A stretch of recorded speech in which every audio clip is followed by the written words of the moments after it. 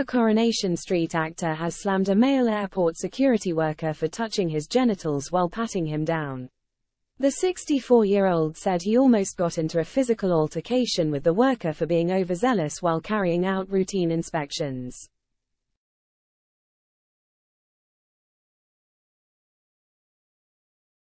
Charlie took to Instagram to share the incident with his 25,000 followers in a short clip on his feed.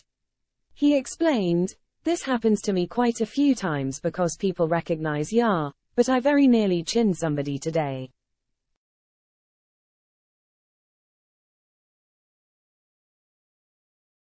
I said to that boy, if you touch me there again son, you'll know all about it. He accused me of being difficult. I said, no I don't, but I don't like you touching my genitals. The ITV star said that he was subjected to X-ray machines, but insisted that the patting down was intrusive and bang out of order, to be quite frank.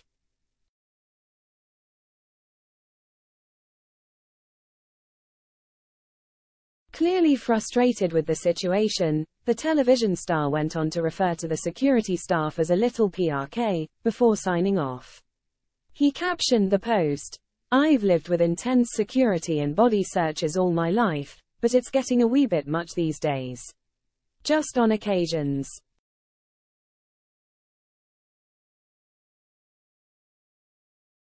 Charlie's followers rushed to the comments section to share their views on the situation at hand. One Instagram user wrote, Well done for keeping calm. I don't think I would have, while another person said, Well done for keeping the composure.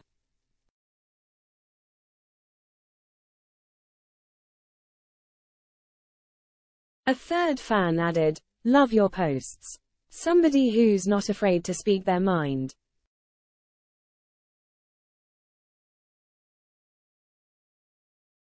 While a fourth expressed, love the way you tell it how it is spot on.